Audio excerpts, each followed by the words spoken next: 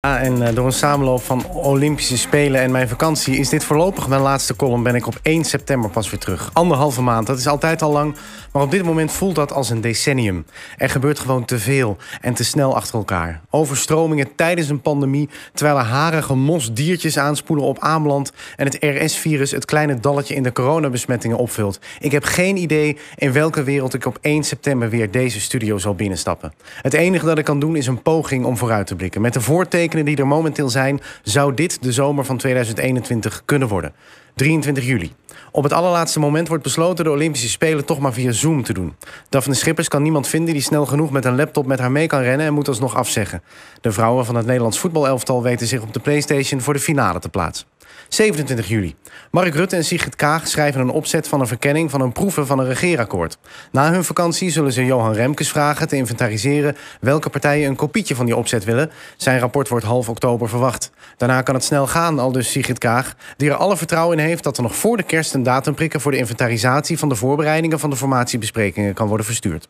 29 juli. Een hittegolf op de Noordpool doet ongekende hoeveelheden ijs smelten. Goed nieuws dus. De aandelen BP en Shell schieten omhoog vanwege de vrijgekomen olievelden. 31 juli. Overijssel wordt getroffen door een sprinkhanenplaag.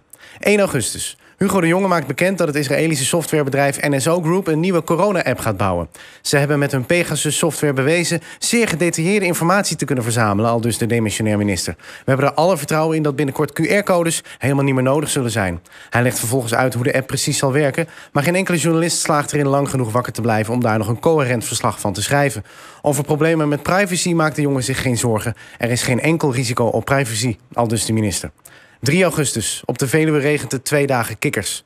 De jagers dienen verheugd meteen een verzoek in tot afschot. 5 augustus. Willem Engel noemt de zogenoemde zwaartekracht een verzinsel... en roept zijn volgers op zich er niks van aan te trekken.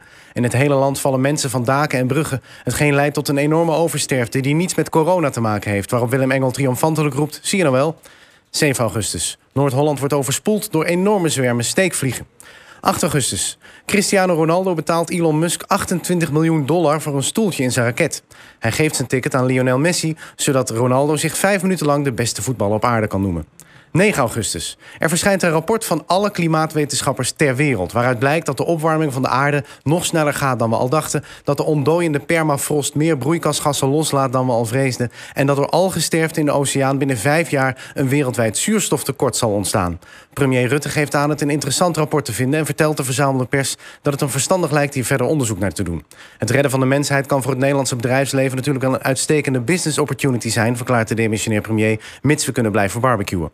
12 augustus. Brabant wordt getroffen door ongekende hagelbuien met stenen zo groot als voetballen. 23 augustus. In heel het land beginnen de introductieweken van studenten. Hugo de Jonge moedigt ze aan er een feestje van te maken en introduceert het begrip je bent sexy met een infectie. 25 augustus. De besprekingen tussen Rutte en Kaag lopen vast op foutief spatiegebruik in de notulen. Er wordt een verkenner aangesteld om het proces helemaal opnieuw te beginnen. 30 augustus. Het land wordt getroffen door drie dagen totale duisternis. De bevolking heeft geen keus dan massaal naar de radio te luisteren. 1 september. In een zeldzaam goed beluisterde uitzending van de Nieuwsbv lees ik mijn eerste column na de zomer voor, bestaande uit slechts vier woorden. Ik had jullie gewaarschuwd. Mis niks van het laatste nieuws met de NPO Radio 1-app. Download hem nu.